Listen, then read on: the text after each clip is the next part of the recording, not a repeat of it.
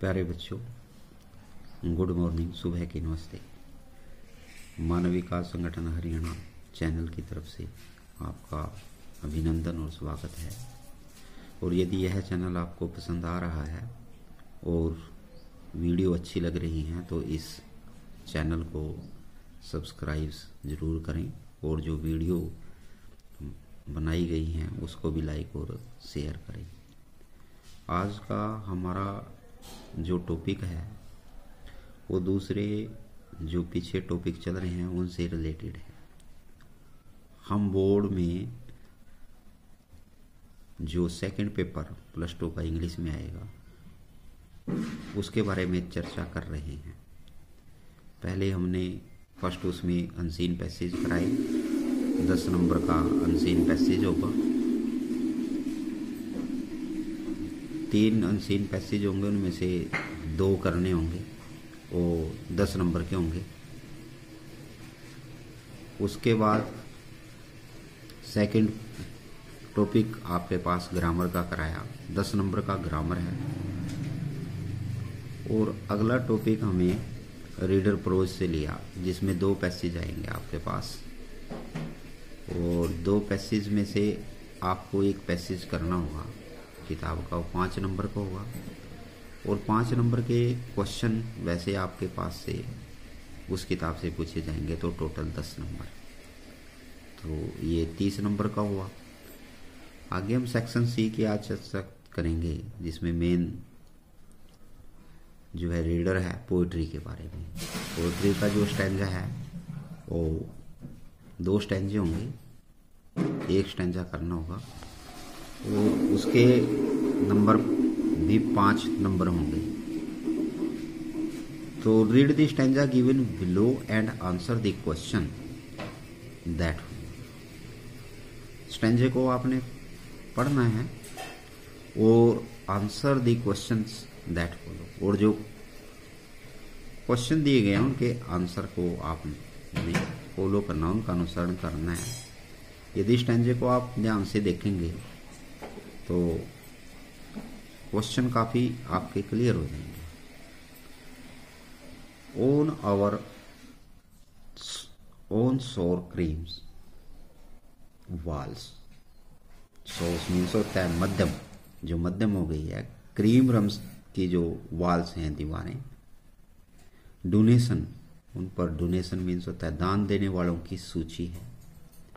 Shakespeare heads वो जो Shakespeare का हेड है से क्लाउडलेस एट डाउन वो दीवार के पास रखा है इट इज़ हैंगिंग ऑन दीवार सिविलाइज्ड डोम और जो सब है नून्स हैं, मकबरे हैं। राइडिंग ऑल सिटीज़ जो सारे शहरों में जो घूम चुका है बैलेट घंटी सहित, फ्लावरी ट्राईलीज वैली, जो घाटी है फूलों की ट्राईलीज घाटी, जिसका नाम है ओपन हैंडेड मैप, और जो संसार का नक्शा बनाया गया है, हाथ से, बिना स्केल के according the word it words वह सारे संसार में है। तो ये स्टैंजा है। और इसका first question who is the poet of this poem कवि कौन है इस कविता का? ये कविता के स्टैंजा आपने समझने होंगे। ये कविता का जो स्टैंजा है an L an elementary school at slum poem से लिया गया है। तो इसका स्टेप वन स्पेंडर कवि है। नेक्स्ट क्वेश्चन है from which poem these lines have been taken कौन सी कविता से ये लाइनें ली गई हैं? तो ये an elementary school classroom in a slum से ली गई है। अगला क्वेश्चन है whose name have been written on the walls दीवारों पर किन के नाम लिखे गए हैं? The name of the teacher name of the students name of the donor अगर आप स्टैंजे को देखेंगे, पहले में डोनेशन देने वाले को। डोनेशन देने वालों के नाम जो है, सूची में है।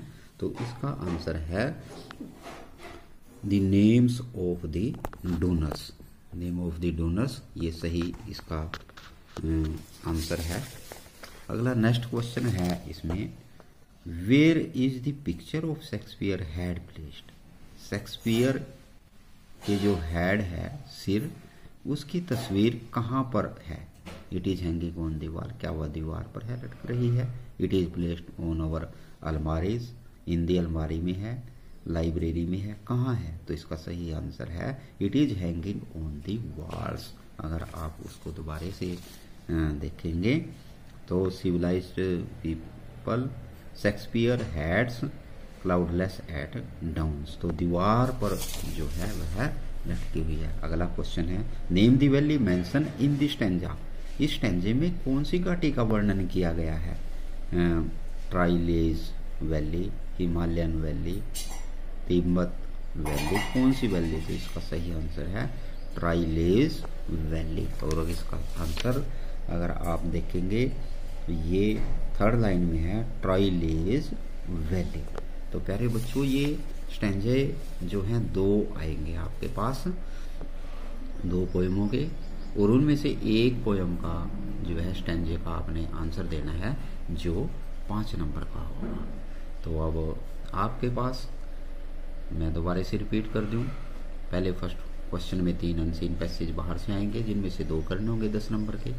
सेकंड सेक्शन बी में ग्रामर का दस नंबर का पोर्शन होगा, बीस नंबर और उसके बाद जो किताब के, जो क्वेश्चन होंगे रीडर के रीडर प्रोज के, उसमें दो पैसेज होंगे, एक पैसेज करना होगा पाँच नंबर का, और पैसेज के अलावा उससे, उस किताब से जो है क्वेश्चन पूछे जाएँगे आपको पाँच तो दस नंबर का होगा टोटल तीस, और ये पोइट्री जो दो इसके स्टैंडे हैं, उनमें से एक करना होगा, ये पाँच। तो टोटल नंबर अब तक पैंतीस हुए हैं। नेक्स्ट वीडियो में दूसरा जो स्टैंजा है, उसकी हम रिवीजन कराएँगे और फिर नेक्स्ट वीडियो में आगे जो है इस को जो पेपर सैंपल पेपर है, इसको कंप्लीट कर देंगे, जिससे आपको पता चल जाएगा कि एग्ज़ाम में जो है सेकंड पेपर कैसे आएगा, कैसे आपने इसको अटैम्प्ट करना है। तो आप इस वीडियो के साथ